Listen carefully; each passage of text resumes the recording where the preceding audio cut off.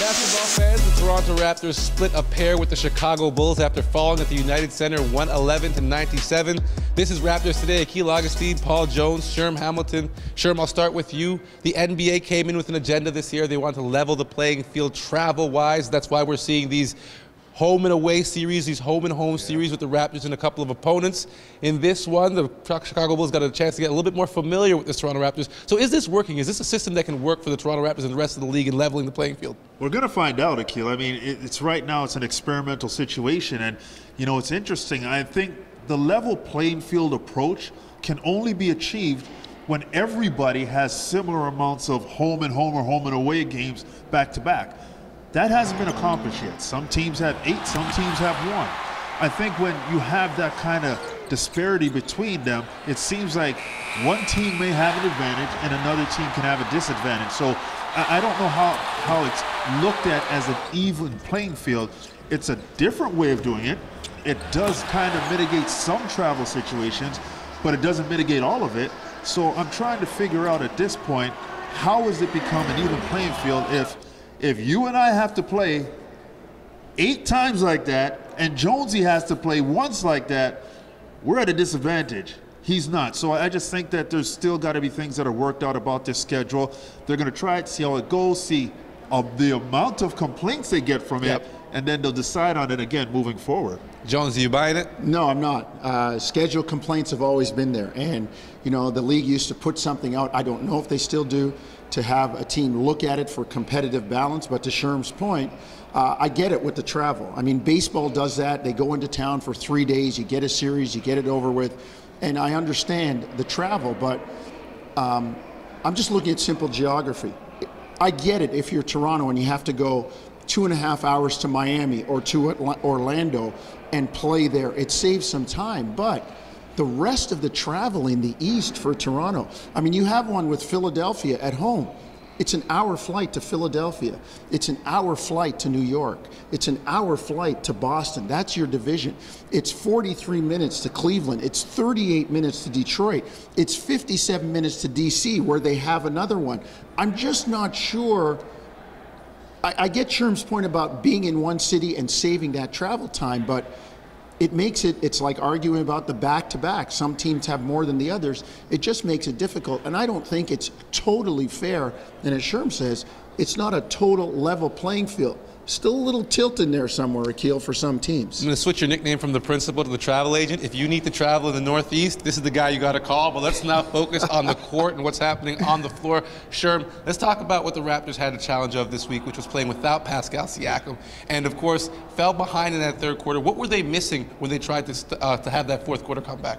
Pascal Siakam. Okay, all right, there you have it. In short, but I think overall, what we saw from the Raptors one was in the first game against Chicago, their ability to double team DeMar, get the ball out of his hands. Now you're forcing uh, Alex Caruso to make a play. You're forcing a Nick Vucevic to make a play.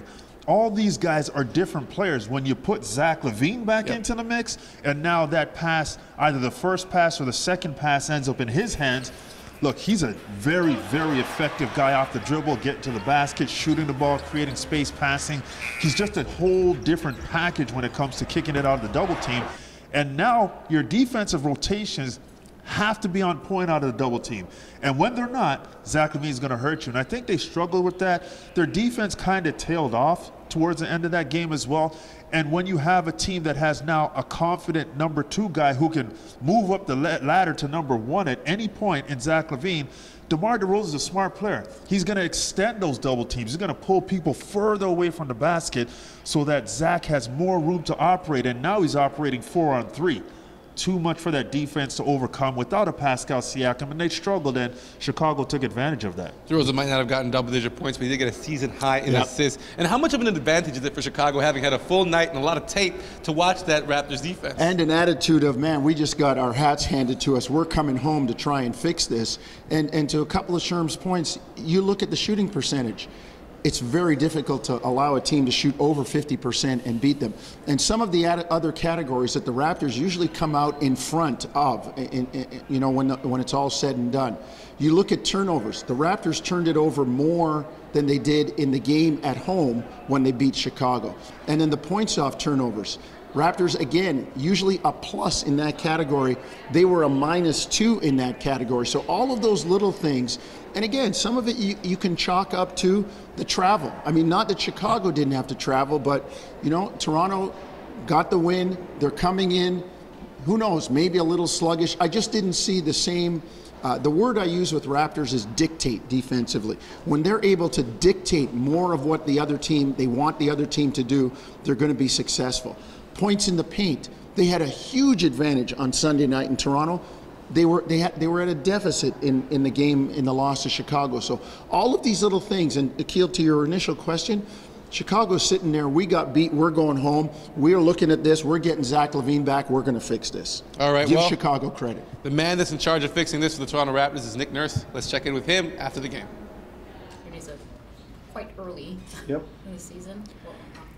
Well, it's um, you know, I did this a lot when I was coaching in the minor leagues, and the split happens so much. It's amazing, right? And so far, it's happened to us. I think in all of them, right? All three of them. So I think we got five more of these. So yeah, maybe we'll maybe we'll have a chance to figure one out here before before we go. But just didn't quite have enough juice. Didn't quite ball was really bouncing the wrong way for us. Even every time we got our hands on it, they'd they'd come back up with it and lay it in or something. Um, and I thought that you know just again it was rolling really bad for us most of the night. A lot of a lot of in and outs, a lot of layups, missed a couple dunks. You know that kind, it was just kind of one of those nights. Hung in there and tried to make it a game of it late, but just couldn't quite get her close enough. Using all the guys available to you is just a matter of just trying to find something. Yeah, just looking for some sparks, and I thought some of those guys did okay, right? I thought I thought you know, um, Dalano had a good stretch in the first, and Juancho so did he. Had you know he had a couple good plays in there as well, and um, uh, Malachi came in played okay there at the end as well. So, yep, just looking for for for some spark from those guys, and it's a good chance to get some of them out there. With Pascal Siakam out, all eyes on Fred VanVleet, the all-star for the Toronto Raptors, as the Raptors needed to punch up their offensive scoring. And Sherm, let's talk about it. Three nights off, you expect a little bit of a lag from a guy who didn't get to play his usual load. Were you surprised at how effective Fred VanVleet was when he's thrown back into the lineup? In a word, no. I mean, Fred VanVleet is going to have impact. I, I like the fact that without Pascal there, we're seeing him look for scoring more. I think when Pascal was in the lineup, Fred was just kind of laying in the weeds, and when they needed him to, to ramp up his offense, he would make plays, especially late in the game. But I like Fred aggressive offensively early. I like him pushing the pace. I like him trying to really dissect the defense and being aggressive from the three-point line. The further away from the three-point line he shoots it is the more they get to him and he can put it on the floor and break down people. But he's efficient. I mean, he was very, very efficient on Monday night against Chicago. You know, 10 of 19, 6 of 10 from the three-point line. And the team needed all that he brought to the table. So I'm not surprised. Fred's a leader. Fred's a, pro, a true pro. He understands how to get it done in moments of the game, and he understands how to switch gears as well when he needs to move the ball and get everybody involved. So, in a word, no, but I had to give you a long answer. All right, let's talk about Christian Koloko, Jonesy. 11 and 7 career night in the first game against the Chicago Bulls. And Look- six blocks. Yes, yes, Yes. of course. You got to mention that. But then looked more like a rookie. How does this team kind of acclimate him because the fouls issue is kind of where they're worried about him? Well, look, let's face it, you're going to get that with a rookie, up Yeah. and down. I, I love, first of all, let me state this. I love what the young man's doing, the way he seamlessly fit into what the Raptors are trying to do. He understands his role, and I think that's the biggest part of it. His role is play defense, rebound, set good, set good screens, and kind of stay out of the way offensively. And I, I love what he's doing. As for the foul trouble, that's a reputation thing. And I thought there was a real kind of uh, cute comment in there by Nick Nurse, who said to the referees after a few games, they'll learn that this guy was one of the top shot blockers last year, and they'll understand that that's what he does. And that speaks to gaining a reputation because that's going to help him. Right now, he's getting a lot of kind of excuse me fouls where there's a little bump and the referees are calling him for a foul. Or he'll block a shot and maybe on the follow through he'll hit a hand or something like that and they'll call him as a shooting foul. All you can do if you're the coaching staff is continue to work with him show him tape and just kind of work on his positioning. It's kind of like a kid that's just learning how to drive. It's okay when it's dry, but what happens when it's wet and there's a little snow and you just things you got to kind of be aware of as you move through it. And I think that's what they're working with with Christian. And he's bright. He understands the game. He'll overcome these challenges. And I'm telling you, this kid is going to be, he's already been, and he's going to be a force going forward defensively on this team and in the league. I just want to add to what Jonesy was saying. He's just going to have to go through it. You know, he's Yeah. going to have to make these mistakes. He's going to have to grow from them. The team can't really stop him from creating fouls or getting into foul trouble. They can talk to him, they can admonish him, but in those moments, he's going to have to make decisions. And I think that comes with the reps, that comes with the attention, that comes with understanding how to communicate with officials. It's all the time that needs to be accrued in order for that experience to be developed. And I think that's going to happen very, very quickly for this young man based on the opportunities he's getting. You know, Sherm had a word no on the first answer. He just used the word in that answer experience. Okay, all right. Well, from the Raptors' big man in the middle to the snipers on the wing, let's hear from Gary Trent and Fred VanVleet.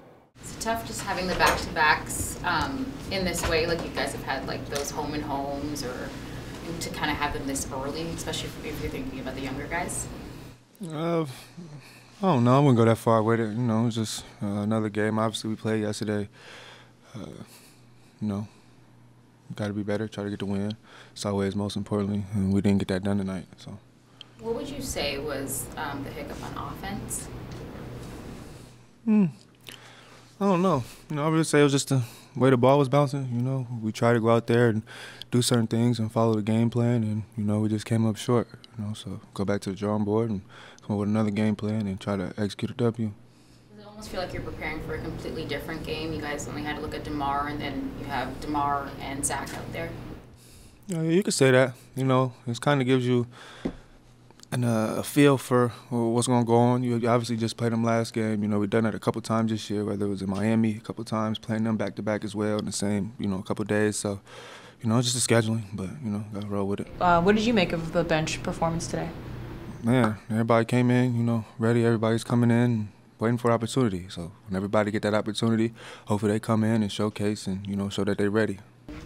Probably not in the favor that it's so early in the season for you guys, and especially young ones. Yeah, I mean it's uh, adjustment for sure. It's different, so we'll see. Um, the NBA is full of changes, and um, you just got to be able to adapt and adjust. This is something new um, since I've been in the league, so uh, we'll see. It's um, you know you don't want to split them, but it seems that's the way it's been going for us. Um, it's tough to you know play the same team uh, 24 hours in between, so. Uh, um, you know, we got to find a way to try to, you know, win both, or we'll just see the rest of the league balance itself out. I think, you know, there's the, all of the records throughout the league and the standings are kind of, you know, spread out. So um, we'll see at, at the end of the year how it stacks up. But, um, you know, a tough one, tough one for us tonight. Was there anything you noticed offensively that was just off for you guys tonight? Yeah, I thought they were a little more physical, and they they um, they found a real um, stretch. I think the game was obviously won in the third quarter if you look at it, but uh, they're a little more physical. Um, it's just you know trying to find the right f- flow of physicality with the whistle, and um, we just didn't have that pop. Um, you know, on the offensive end, it was kind of stalled out. Still ended up with 24 assists, which is okay. It's not great, but um, you know you would like to to obviously score or shoot a little bit better. So we gotta get some rest and you know get ready for Wednesday. Conversations are you having with Christian? He had the experience of going up against Luka and then DeMar, and then now he gets another look of DeMar and Zach. When you're asking him for what you need, what do those conversations look like? Uh, just he just gotta just be a sponge and just keep downloading the information and. Um, it's his first back to back, right? So um, last night was the most minutes he's ever played, you know. So 31 last, 29, 21 tonight. Um, he's just got to keep, you know, absorbing the information. There's going to be some growing pains, um, but he's he's attentive and he listens and he's playing as hard as he can. So he'll continue to grow and get better for us. But um, obviously, you know, he's a young player. The the way the NBA is, you need your bench to kind of be your life raft, and there's going to be nights where you need him to win the game and nights where you need him to keep you in the game. And um, I'm confident in this group. We got a lot of talent on the bench. I think it's just a matter of putting it together and finding, you know, the right rotations and the right uh, rhythm for those guys. It just seems kind of out of sorts sometimes, especially, you know, tonight on the back-to-back. Guys are a little tired, so we'll see how we can keep tweaking and just find the right fit and the right lineup so, you know, we maximize the most out of those minutes because we're going to need those guys. It's a long season. If you were paying attention last night, you saw the words vote inscribed across the chest of the Toronto Raptors players and across the NBA as the NBA is pushing for its citizens, its members, its players to get out and vote in the U.S. midterm elections. Jonesy, I'll start with you. The NBA is taking a very strong stance on this subject. Why do you think it has? Well, I mean, in the whole uh, social movement, I mean, it was something, and I, and I can say this as, you know, I say this as a, as a African person of African descent. In the U.S., that vote was a privilege and it wasn't always granted. And now these players are recognizing that people sacrifice for, for others to be able to vote, for them to get what they're doing, and they're using their platform to tell others, look, this is how you can make a difference. There are ways to change things. I, I mean, people complain about things not working and the system. No, learn the system and make it work for you. Find the candidate in your area, the senator, the, the, the, House of Representatives person, whoever it might be, and vote for them. Get to know them, learn their platforms, and go out and vote. That's a way you can change things and make a statement yourself. And the NBA doesn't want to distract anybody from doing that with games or give excuses. So they've shut it down. I admire them for that. And, and, and I think it's something that uh, is very commendable. And I love the fact that the younger generation now is seeing how important it is and is pushing it going forward. They have platforms and I love the way they're using it. Sherm, it's the second time the Toronto Raptors have worn the jersey. They wore it, of course, earlier this season in regards to the Canadian voting situation. Talk to us about what this organization is focusing on and how important it is for them to get involved in this conversation. Well, when you think about it, I mean, there are a lot of American and non Canadian players on this team, but it's very important that when you're a citizen and you're occupying space in another country, living there, earning an income, it's very important to recognize and respect what's happening in whatever country you're in. And we had an election, and it's just the right thing to do for this organization and the players to really encourage Canadians to get out and vote. And I think now we're seeing them do the same thing for the U.S. elections. Listen, it all matters. It all is something that we need to be involved in. And as Jonesy said, the platform is available. They have the bright lights on them what better time or better way to use that platform than to say, hey, get out there and vote. It's across our chest. We're talking about it. We're trying to say it's a necessity for us to do in order to get the changes that we want. Look, politics is one of the most divisive things in our world. Yep. It can create a lot of issues, and we know how damaging it can be. So if we have a chance to vote, which a lot of people have died and struggled for our opportunity to do that, I think we've got to take advantage of it. And even though it's not our election right now, we should support the messaging of the NBA to say, hey, all you Americans, get out there and vote and make a difference. Don't not take advantage of this opportunity. Right here at the home of the Toronto Raptors in the city of Toronto, they had a mayoral election recently, and it was an all-time low in voter turnout. So we echo the same sentiments yep. to our citizens right here in Toronto. Get out and vote. And who else is echoing the sentiments? The Toronto Raptors and their front office. Here's a TikTok from them make informed choices. Voting in the election is the most direct way for you to have a voice in your city, in your community. And that's why it's the most important to vote. Make informed choices. For so long, people in power have tried to deny and suppress people's rights to vote for a reason. They know that there is power in voting, there is power in each person having their own voices. That's why it's so important for each and every person to do their part and get out and vote. Vote. Vote. The Toronto Raptors have been through the gauntlet in terms of quality of opponent recently, and things should lighten up at least in terms of the wins and losses of those opponents. But you never take your opponent lightly. Up next, the Houston Rockets sitting at two and nine, and they've got a young man, Kevin Porter, who just recently inked a new long-term deal, and he is a lot to deal with. Jonesy, talk to us about exactly the kinds of problems he presents. He's averaging career numbers right now. Well, he's a really dynamic player, Akil, and that's the first thing that the Raptors are going to have to deal with. He brings the ball up here, and you know, the specter of the three point shot is so big in the NBA right now. Watch the guys on the perimeter defensively. They spread out, they want to guard the three point line, and Kevin Porter Jr. realizes it's open behind them. If I can break my defender down, I've got all kinds of room in the paint, and he does just that. Watch him right here, a quick crossover into the lane and finishes at the rim with no shot blocking, no protection at the rim. He's also very good when it comes to helping his opponent, helping his teammates out and breaking down opponents. Here, he realizes again, he's got a matchup, gets into the paint. Watch Kenyon Martin Jr. doing a nice job moving into space. His defenders turned his back, and then a great pass for the finish by Kenyon Martin. When speaking of the Houston Rockets, Sherm, the other side of the coin is Jalen Green and his explosiveness. Talk about how he complements what they're doing. Well, Jalen Green, like Kevin Porter, uber athletic, and when he gets out in transition, he becomes very explosive. Kevin Porter Jr. sees him over the top. He's running the lane. Look at the angle he takes to really eliminate Trae Young's ability to defend him. And then when it's above the rim, this guy is out there with the best of them, finishing with force.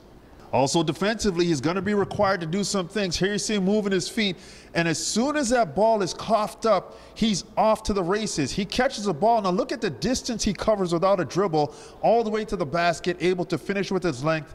Stephen Silas, a young coach in the NBA, has a young core to work with moving forward.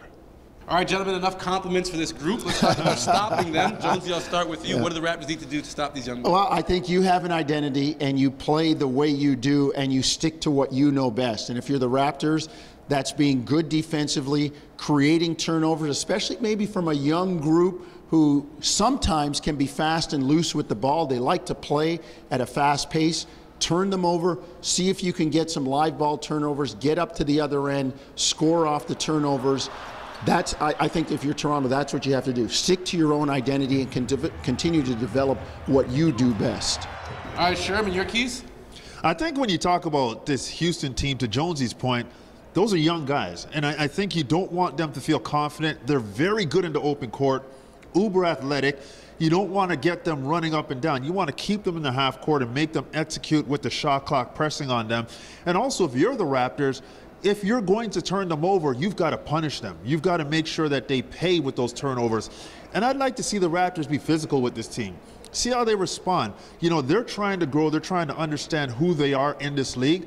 Well, see if they can understand physically who they are, if they can fight through that mental toughness phase of the game where you gotta not pay attention to the, the fouls, you gotta not complain to the officials, you've gotta play through tough moments put them in those situations and see how they respond. But the Raptors are a more experienced team. You expect them to use that to their advantage. All right, it's Raptors Rockets. 7:30 p.m. is the tip-off Wednesday night, and you can catch the call on TSN, the radio call on Sportsnet 590.